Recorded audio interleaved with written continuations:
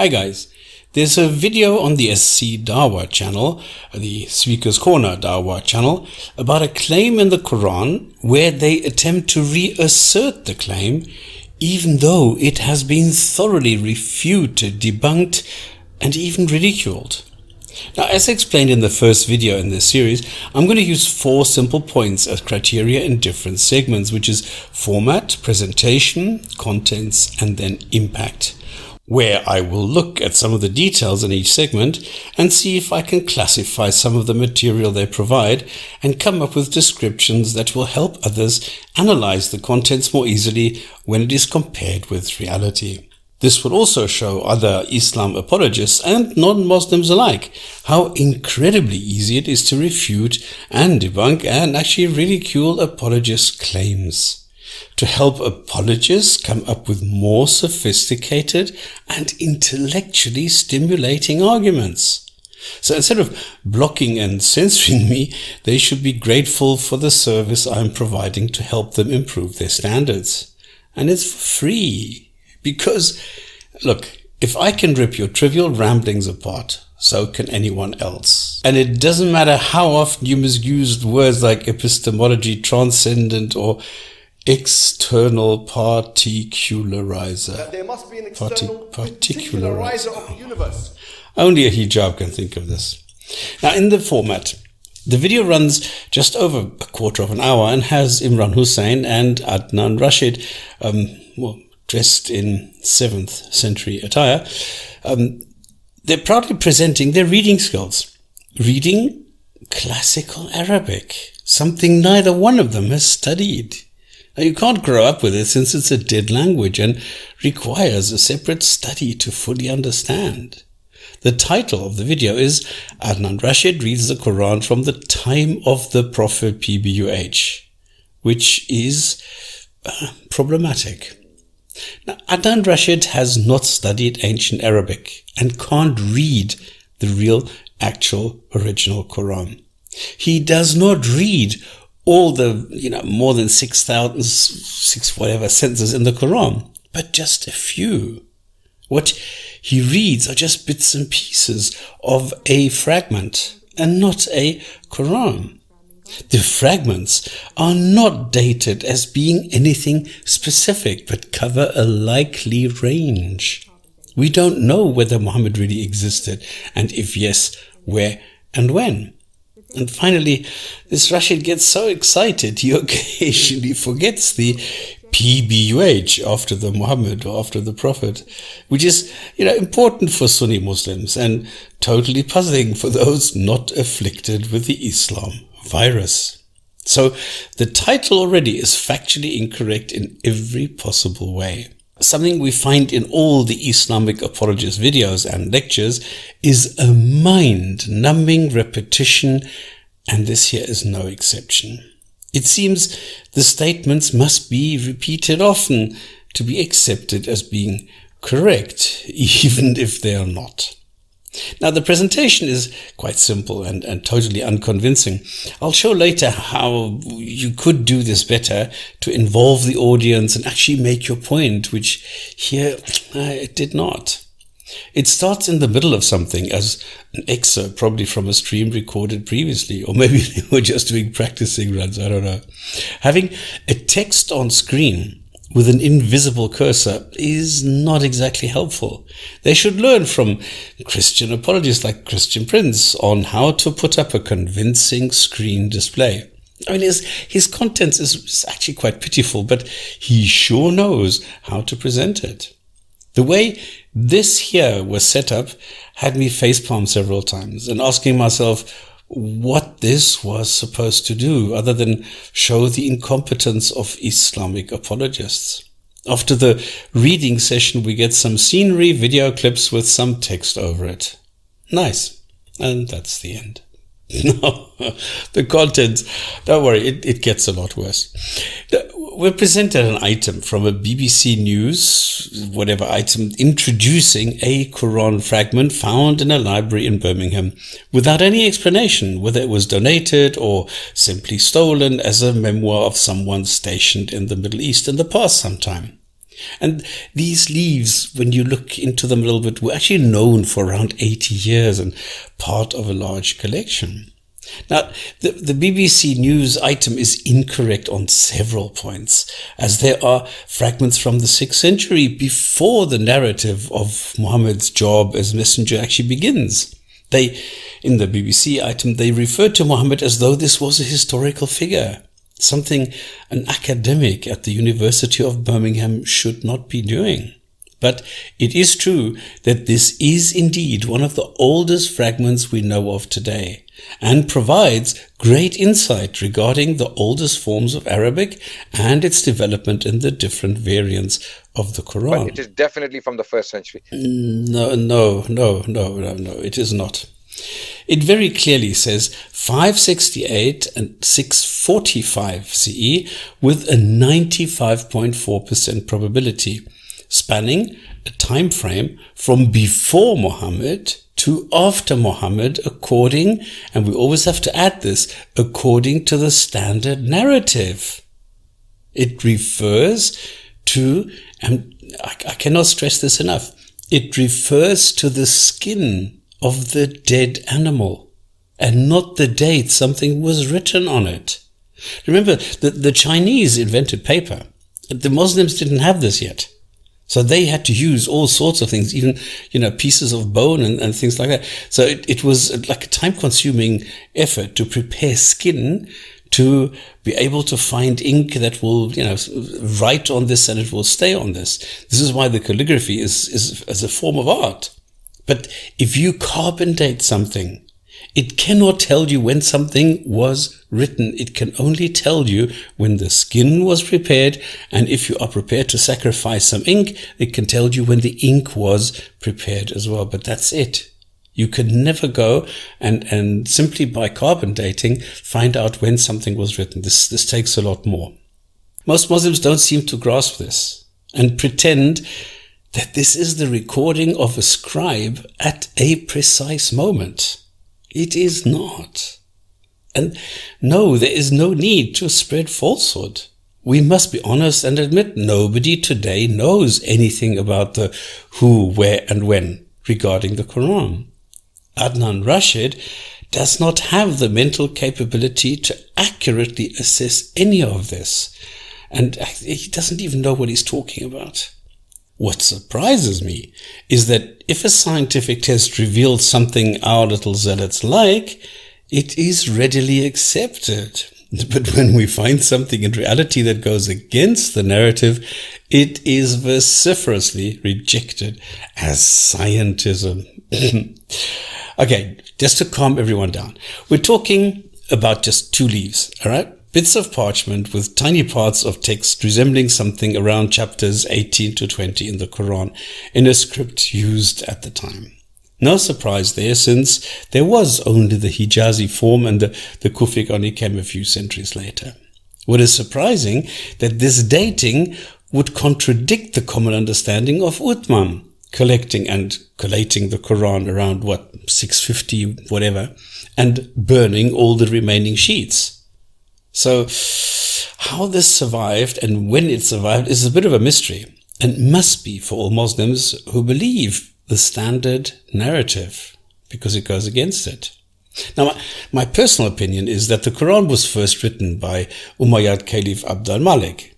This, this would explain why the first versions of the Quran we have are dated to around 9th or 10th century.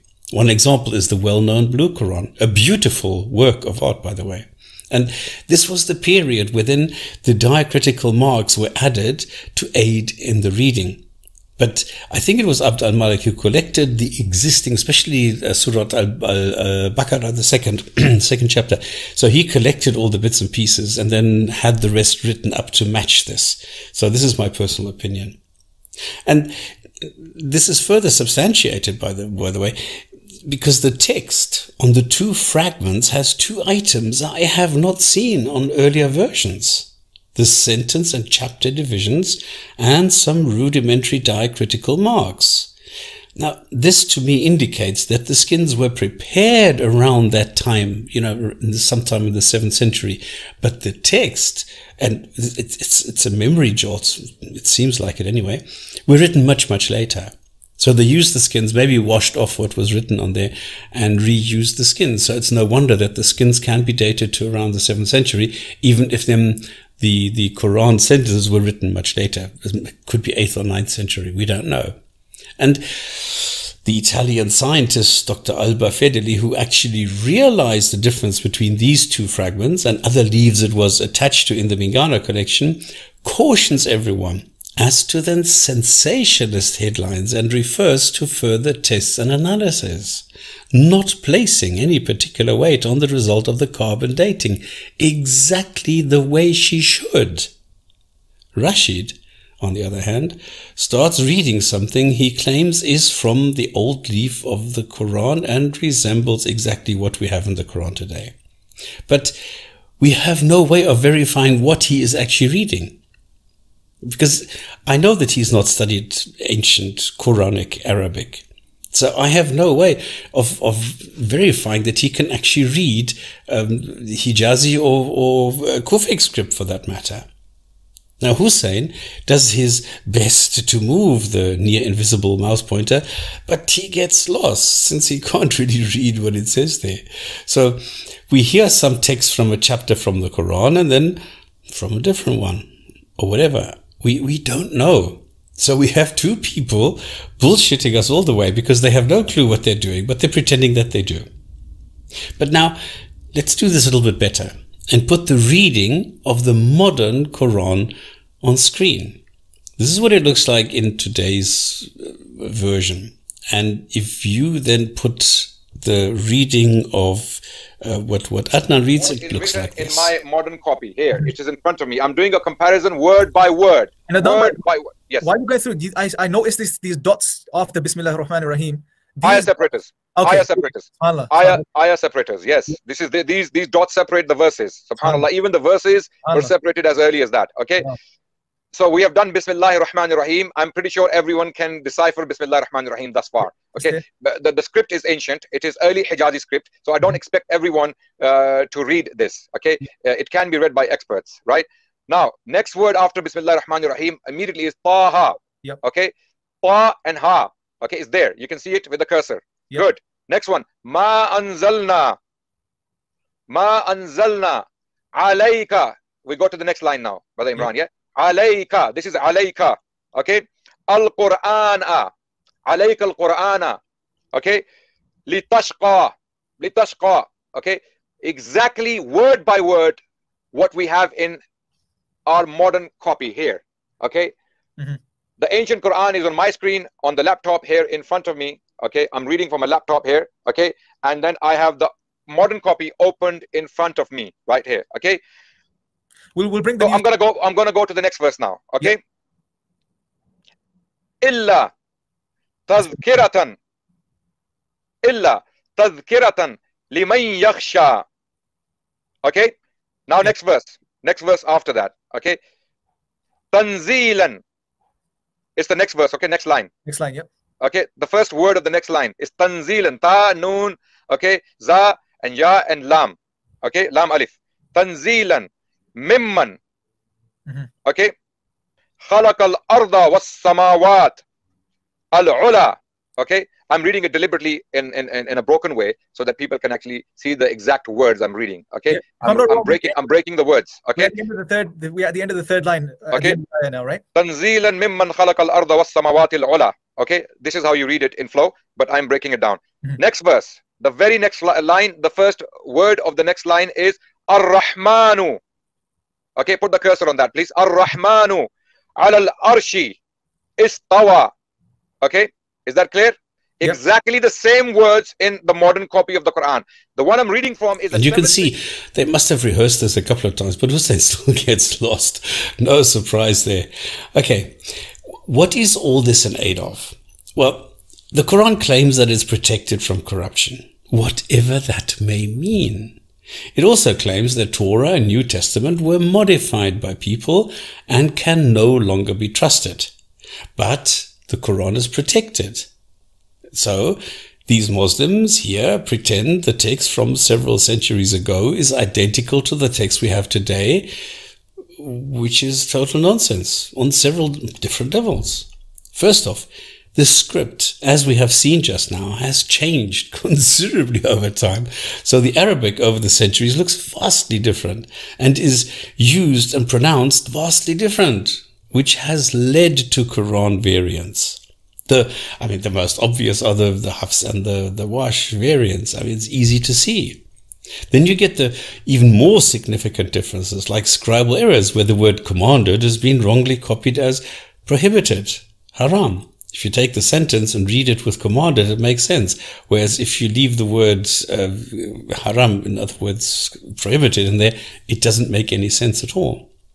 Now, anyone who speaks modern day Arabic will easily spot numerous mistakes and variants, even if the language has progressed and is, is different.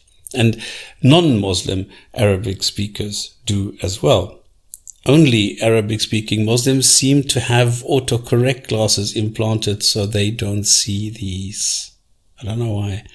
The Quran itself, hardly any Muslim knows this, that it was released in Cairo in 1924. And that is the version we have today, except for some versions where we find some differences, that is, and they do exist.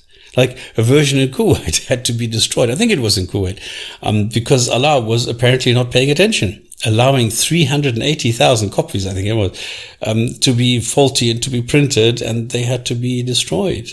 While reading, Adnan himself stumbles on a variant, something he calls the invisible alif. Okay, now there is a very tiny, uh, small difference in the spelling here in Faqala and the way Fakala is written in the modern copy. Okay, mm-hmm. Fakala here is written uh, with the the invisible alif, which is a missing letter. Let's let's be very clear about this. It's like me writing. He clues where I leave out the a, which would make it a calls. Now, if this is invisible and it's not there, it can change the word considerably. Like, for example, Islam and Salam both the same SLM root, but one is submission and one is peace. Very different. So the thing is, we have thousands of books where the contents has not changed for a thousand years. Were all these written by gods? Is the mere fact that a text has not changed over time sufficient to take this as an indication that it is of divine origin? Really? Come on. And then we have scholars, real Islam scholars, and not these two Muppets. And these real Islam scholars are openly admitting that there are what they call problems with this claim. They know there are variants, and even Dr. Yasir Qadhi, whom I personally think is honest enough, he says that there are problems, and that Muslims, standard run-of-the-mill Muslims, should simply not talk or not know about this. They don't have the background knowledge. He points out that even non-Muslim scholars are pointing to holes in the traditional narrative and Muslim scholars have no answers. And then the rest of the week is fine. But for our there are mistakes and inconsistencies in what is in the Quran. And Muslim scholars are well aware of this. It is enough for the Muslim to know that the Quran is the speech of Allah that has been protected, and what we recite is the kalam of Allah. That is enough for the Muslim to know. These issues should only be discussed amongst people who know what the qira'at are and who understand some of these questions that are being the crisis was very simple. The issue of ahruf and preservation and qira'at and relationships between them, these are very, very difficult issues. And the most advanced of our scholars, they're not quite fully certain how to solve all of the unanswered questions in there. These are now well known within the Western Academy uh, that they're bringing forth issues. Their level of now knowledge is leaps and bounds above what it used to be, you know, 100 years ago. You know, and by and large, our ulama in the Eastern world are not aware, by and large, of what's going on in the Western side of things. And they're not answering those questions in a manner that it needs to be answered. And this is something all of us that are in academia fully acknowledge. This issue uh, of ahruf and qira'at has troubled the ummah from the very beginning of times, nothing new. And there are 15 opinions about this. None of them fully answer all of the questions that are raised. Some of them answer more than others. Okay, but what now is the actual impact? In all honesty, it's none. We know the claims in the Quran are wrong as soon as you start investigating them. And this is no different here. What they should have done is put the two texts next to each other, demonstrate the similarity, and they did not do that. And I don't know why. And look how easy it is. I mean, here you can see, if, if you put them next to each other, you can see that there is hardly any resemblance. So you can't really tell whether they are identical or not. Now, it, it's very obvious that these texts are different. And they were subject to normal evolution and they developed over time. But now hang on. A God would most likely have made the text complete immediately and created everyone with the ability to read it and intuitively understand the contents. But this is not the case.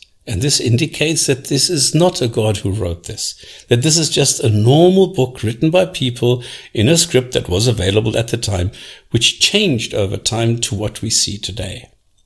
Now, it's obvious that the Quran is man-made, with all built-in flaws, inconsistencies, contradictions, and mistakes we humans tend to make. It's obvious. And Muslims will have to accept this reality or continue watching Islam crumble around them. Now, are these kind of videos useful where some minor issues are fitted with some makeup to deceive others? Is SC Dawah actually doing anything positive for Islam? No. Not, come on, not as long as the Quran propagates slavery, misogyny, violence, hatred, and bigoted supremacy. We should not worry about the formatting. So I'm sorry, the video gets an F for fail. So in summary, there still is no good reason to believe gods and goddesses exist. So I don't. Thanks for your time and hopefully see you in the next video. Bye.